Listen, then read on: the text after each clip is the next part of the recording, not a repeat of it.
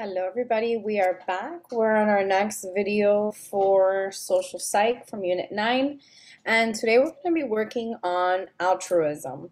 Um, so we're going to actually talk about altruism and then we'll go into conflict and peacemaking. Alright, so altruism, right? So the top of your notes are going to say this and please remember to follow along. Please make sure to skip lines after every main point um, if you see, there's always skipping a line. Um, and highlighting as well would be good, especially for the kind of like your subtopics. All right, so we're going to start with the first one, which is altruism. And what exactly is altruism? And that is when um, it's kind of like a concept or a practice of selfless behavior out of concern for the well being of others. Okay, so I'll say that again. So it's basically a concept or a practice of selfless behavior, okay, to, about ourselves, out of concern for the well being of others. It's basically that we are going to help other people um, and not so much think about um, ourselves. So it's kind of like we are concerned for the welfare of others. So make sure to include that as well. Okay. Now, under here, I want you also to include um, under altruism, you're going to write down altruistic norms, and I'll write it here. Alt well, maybe I'll write it there. Okay, so which is altruistic norms. And this is when the expectation Okay, so altruistic norms means it is the expectation of acting on behalf of the group rather than in self interest. Okay, so altruistic norm, right? It's kind of like the norm is to help people in a group rather than our self interest. Okay, um, so for example, when there's a hurricane or a tornado, like natural disasters, you tend to see a lot of people instead of just worrying about themselves um, they also they're going to help um, the group right? And not just people that were affected but people outside right? Every time you'll see whenever there's a natural disaster or something happens in a state people are going to try to help out as much as they can by giving donations and so forth okay? Um, now I want you to write under altruism these two guys' names. It's John Darley and Bibb Latané, okay? Because they're the ones that really kind of, they're social psychologists that are going to really study why is it, what needs to happen in order for people to help other people, okay?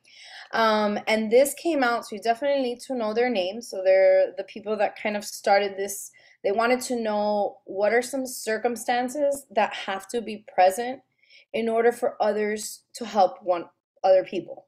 Okay. And this kind of came about because there was the case of Kitty Genovese, and you need to know this person's name um, and kind of like what happens with this girl. And this is actually a case that happened in 1964 in New York City in which a man basically uh, stabs Kitty Genovese multiple times. I'm not quite sure if he was he raped and stabbed her, but anyway, he ended up killing her. And what happened was that, um, and why was such a big deal is because she was screaming for help, and tons of neighbors watched and heard, but nobody helped. Okay, so this came in what which would later be called the bystander effect. So these are the people that kind of studied this, and I'm sure that you guys have seen this, um, seen this word before. Um, if not, that's okay. But bystander effect is basically definitely to know. So it could be called bystander effect or diffusion of responsibilities. Okay, and this just basically means that we this is the tendency to, and write it, make sure you're writing all this down, is that the tendency to um, less, we're less likely to help others when, or help someone when other people are present. Okay? So this is their tendency to um, that we tend to not help someone if other people are present. Okay, and then under bystander effect also include this. This bystander effect is basically we justify that we don't help because nobody else is helping um, as well. Okay, this is where you typically will see, um, especially on social media, if somebody's fighting, everybody kind of takes out their camera and starts recording. Um, and it that's a perfect example of that bystander effect in which they kind of just, well, nobody else is helping. So I'm just going to do the same thing or stand back. Okay. Now, there is this thing called the bystander intervention. And this is when one person, all it takes is one person that will help in an emergency, especially an emergency like somebody's getting really hurt.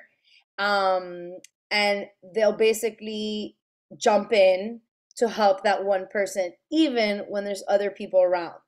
So then, what ends up happening with the bystander intervention is that then other people are going to jump in and help right? So this is great to know um, because when you see something happening, right, and we kind of like stand back and we don't want to get involved, um, but all it really takes is just one person, one person to be courageous enough to step in, okay, to help somebody else. Now, you also need to know what are some circumstances that so from this study that John Darley does and Bibb Latané, what they ended up doing, they're studying, is they found out there's certain circumstances that are needed in order for people to help. And the first one is, you're to write this down, is that uh, people are more willing to help if um, it appears that the person deserves or actually needs help. Okay, so that's one, that they actually need or deserve to be helped. Second thing is that the person that is like the victim or that needs help is either has some similarity to us or has like a similar background or like we could see ourselves in that person. Okay, the next one is that um, they just observe someone being helpful to somebody else. So if I see somebody helping, I'm more likely willing to help somebody else. Uh, the next one is if they're not in a hurry. If they're not in a hurry, they're going to help. Um, also, another thing, so there's more than four, okay, so make sure you're writing that. The next one is if they're feeling guilty for not helping or feeling guilty for what's happening um, and the last one is that they're actually that they're in a good mood. So all of these things, right? Like, do they deserve to help? Like, be helped? Um, do they seem similar to us or not, or have similar backgrounds? Um, if they seem, if I'm if I'm not in a hurry, if I'm feeling guilty, or if I'm in a good mood, and if I've seen other people helping, then I'm more likely to help somebody. Okay? Now, what are the norms for helping? And the norms for helping are kind of um, exactly what it means, right? Like the norm for everybody, usually, in order to help. It's kind of like what drives us. And the first thing is going to be social exchange theory. Okay, social exchange theory is basically that we believe that helping people is an exchange process in which um, I am going to also, so it's an exchange process in which um, I'm going to look at the benefits of helping as well as looking at the cost if I help. Okay? Now, so write that down. So it's kind of like an exchange, social exchange. So it's an exchange in which I'm gonna look at, I'm gonna out see if the my helping is going to be a benefit or is it going to be or is it gonna cost me? Okay. Um, so it's kind of like you weigh the cost. So for instance, um, let's say I see a bunch of like, so this is kind of what happened when I was teaching. Here's my example. I had a student, um, she was very aggressive and she was fighting with a boy, right? Like one of my students. Now, I tried to break it up, but it got really bad. And I was like, okay, like I looked at, I need to look at my safety as opposed to them. And they were kind of like just running around type thing. Um, and looking, you know, seeing was it going to cost me more? Like, was I going to get more injured than they were? Um, and so what ended up happening, I had to go get help, right? And um, so that, you know, very quick decision because I had to outweigh either my safety or, you know, I mean, they weren't hurting themselves really. Um, if I would have jumped in, I would have definitely gotten hurt. So it's kind of like if the reward exceeds the cost, so make sure you write that down, you will help. Okay, this is why many times a lot of people, when they see a fight, they're like, I can't stop that, right? Like a bunch of guys fighting, I'm not going to be able to stop that, but I can help, right? And call 911, call somebody, a security or whatnot, okay? The next one is going to be reciprocity norm, okay? Reciprocity, like think of like reciprocal, okay, in which it's the expectation that if someone or a group helped you, you're writing this down, you should help them in return. Okay? So it's kind of like um you scratch my back, I'll scratch yours, right? If you helped me, I am going to help you. So reciprocity norm is that like reciprocal, write that down so that you see it's a reciprocal thing. If you help me, I'll help you. And then vice versa. Okay? And then the next one is going to be social responsibility norm. And this is when, so social responsibility norm, like you're being responsible for the group, is the expectation that people, especially those that are in position of authority, help others even at a cost to themselves. Okay?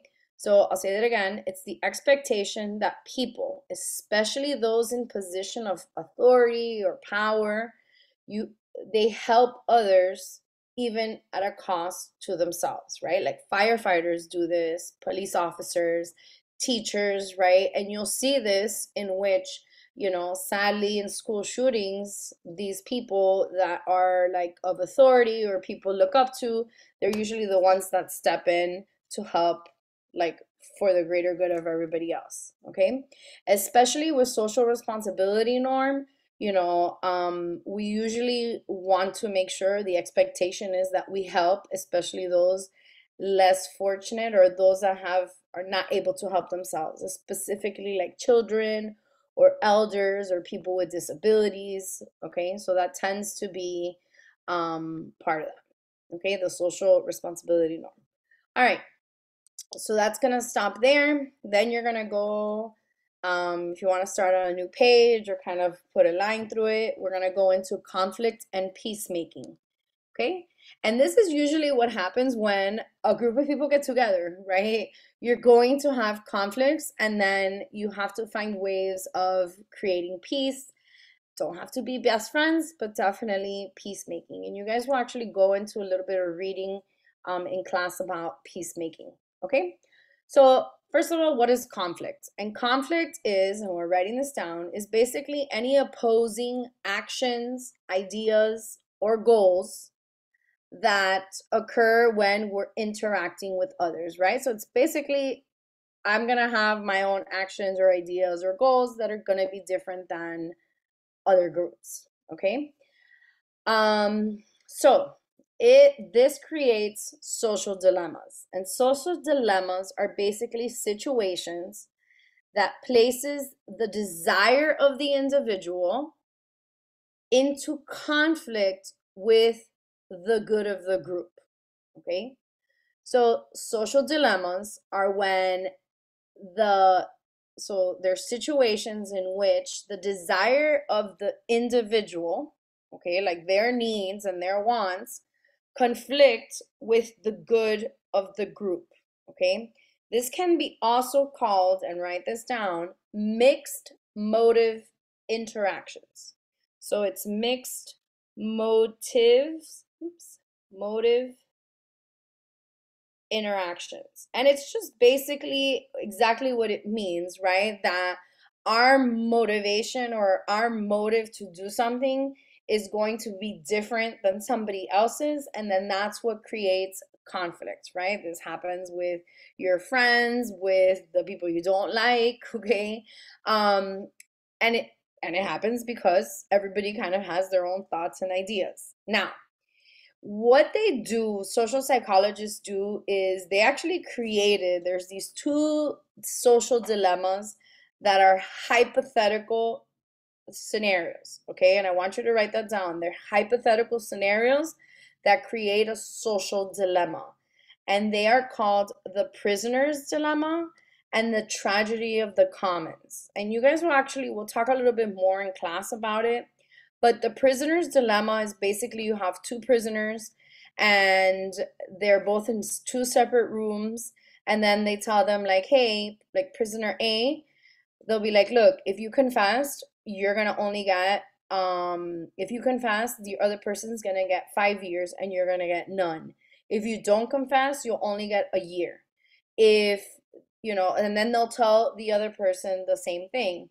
And what ends up seeing, and there's a little diagram, we'll talk about it in class, but it's basically like if nobody confesses, right? So this is like the greater good of the group, they only will do one year, right? Because that's what they tell them. Like, oh, if you don't confess, it'll be just one year. But they tell that to the other person. Um, so technically, if nobody confesses and they just stay silent, both parties ends up with just going with one year. Now, again, this is a hypothetical. It's not really a, what they did. Um, and then the other one is the tragedy of the commons, which has to do with like the piece of land, like like the common land, and then each farmer can only put one cow on this piece of land because um, when they do, it, it could only be one cow because they have to like graze on the grass and then they move them to another area and then they wait that time when it's in somewhere else the cow somewhere else that grass gets you know grows back again and then the cows can come back. Anyway point of the thing is if a, so every every farmer has to only have one cow on each little piece of land. If they get selfish right? This is the whole thing about the tragedy of the commons. If they get selfish and add another cow, even though it's just one more cow, it actually affects like it's overgrazing. And what ends up happening if all of the farmers do that, then they basically will have no land and nobody will have any cows or food. Basically, that's the whole thing of that. Okay. So it's just kind of like, uh, do you want, you know, the whole point of these um, hypotheticals is kind of to see do you want to wait like long term for the greater good of everybody or is it just all about me right now? Right? What's going to benefit me? But in the long run it's going to affect myself and everybody else okay? So it's kind of like what these um, social dilemmas hypotheticals are, are all about. Okay now we're going to go on to the next one which is social trap. And this is basically situations in which a group of people act in a way that yields a positive short term benefit for the individual. Okay, so this is a situation in which a group of people act in a way that is a positive short term benefit for themselves, but it hurts the group overall in the long run. Okay, and we're actually going to do a little experiment in class with social a social trap um, and it will actually have to do with extra credit so it's very interesting uh, what happens so with social trap i want you to add in there that it typically um, with social traps it's like it challenges the it challenges this concept of do i um, make a decision for myself right now? Or do I not do something and allow for the greater good for the group. Like something good will happen to the group, but it'll be later. Okay. And you'll see with my little experiment that we do in class. Um, so with social trap, it's kind of like you have two decisions to make, and one is going to benefit you in the short term. But if you waited, the other option would be it would be good for everybody, but you're probably not just getting as much if you were selfish and just took it for yourself. Okay. It'll make more sense when we do a little experiment. Okay. So, with these conflicts comes what we call enemy perception. And what ends up happening is that when conflict arises, there tends to be a um, a tendency for us to create really negative images about the other person.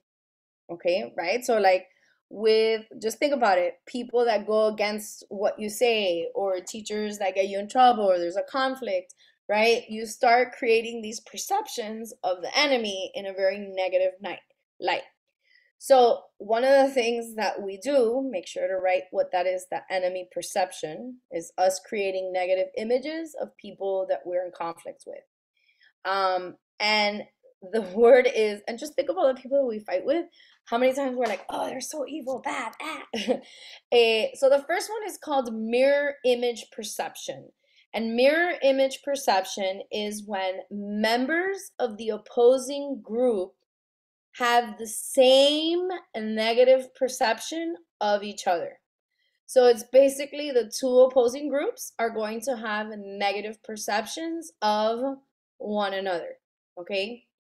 Now, include in there that each side sees themselves as the ethical and peaceful person, while the other side is the evil and bad ones right? So usually the ones obviously that we're in, that we see ourselves, we're going to be the ethical and peaceful ones and then the other person, the other group is just basically going to be wrong and bad.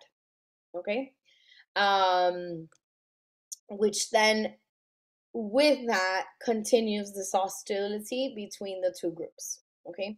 So just think of two friend groups, right? That don't like each other and you're gonna be that's pretty much what happens, right? One side is like, oh, we're the good people, and then those people are like, no, bad. Okay, which goes into that whole in group and out group bias. Okay, might want to include that in there. Then we have self fulfilling prophecy, which is another one. It's falling under here the enemy perception. Now, this is when it's a negative.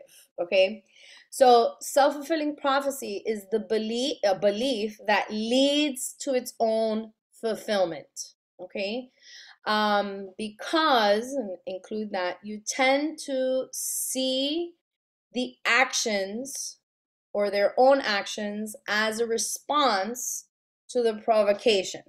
Okay? Um, which basically just means like let's say if i'm telling you you know what? This group you guys are super mean um, aggressive and you're always making fun of other people and then that other group may act in a way that is going to feed into that self-fulfilling prophecy. Or we as the out group right i mean i'm sorry as the in group whatever actions they may do we may perceive it as that as well. Okay, so make sure to include that. And please, guys, make sure that you're pausing, rewinding. I know it's a little annoying and you probably don't want to hear my voice so long, but that's how it's going to help, guys. Okay, I promise. All right. Last but not least, we're going to go a little bit into peacemaking. Okay, and I'm just going to touch upon actually um, this one component because there's a lot of parts of peacemaking um, and I'm only going to talk about, I think, like two of them. Okay. So the first one is going to be about cooperation. How do we bring peace amongst the groups when there's conflict? And one of them is cooperation. Okay. Specifically, is what's called subordinate goals.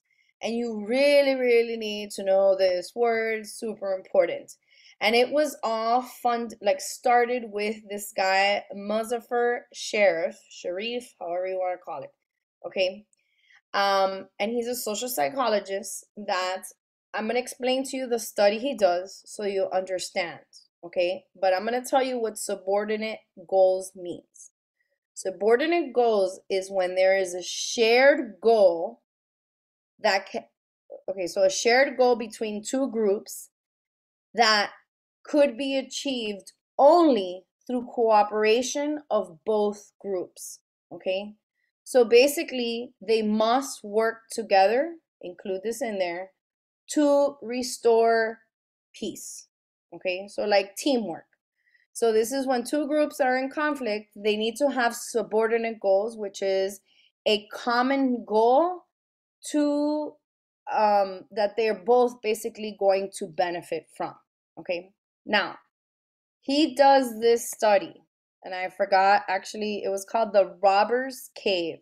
Okay, and I'll write it here Robbers Cave study. It, it's probably not even called that, but it's called the Robbers Cave because it was at this park. Okay, now you're gonna have to pause and write down what you like from this um, story. So, first thing is that this happens in a state park during a summer camp. Okay, so let's start with that. It was a boys' summer camp, and there was two summer camp groups at this park. Okay, so first week, the two groups did not know anything about each other. They were separated, okay? And in that first week, each group, each camp site was basically just getting to know each other. They did activities to get, you know, like that bonding. So that happened first week. The second week, what they did is they slowly started introducing both camps, like the two camps, the two groups of boys. But the way that they did it was through competition. Okay? So they had competitions against each other, and whoever would win would get like a reward or a prize. Okay, so make sure you have that written down. What happened the first week, what happens the second week. In the second week, those two groups of boys actually started doing really bad or mean things to the sep like to each group so they started sealing like the camp's flag. They started like uh, messing up their campsites, and they even started getting into physical fighting with one another. Okay, so that was the second week. By the third week, they introduce this idea of subordinate goals, in which um, the researcher, this guy, Sherif guy, Sharif, he basically clogs the water supply. Okay. And so both groups had to work together in order to fix the water so that they both could get water. So subordinate goals kind of like you need to work together for this common goal that you both have. Okay. Um, and then this allowed them to basically come together as one and be peaceful. No more fighting. Okay. A second thing that they, is important is communication. Communication, obviously, if two people or two groups can speak to each other, then they're more likely to come to a solution. Sometimes there needs to be what's called a mediator. Okay, and a mediator is kind of um, is a person that is literally a mediator in the middle, listening to both sides and trying to come up with a solution that both would be satisfied. Okay. And then last but not least is the appeals to altruistic norms. So, does it appeal to the altruistic norm of helping others? So, um, it's kind of like you're acting on behalf of the group rather than in self interest. So, does this um, appeal to us helping a group rather than just for ourselves. Okay? And that's basically it. Thank you for uh, watching. Please make sure, guys, that you are skipping a line between all of these different concepts, that you're putting examples, that you are paying attention, and you are reviewing. Stop the video if you need to or whatnot, but you guys know we'll be having our little quizzes on these things, so make sure to watch. Okay? Bye, guys. Love ya.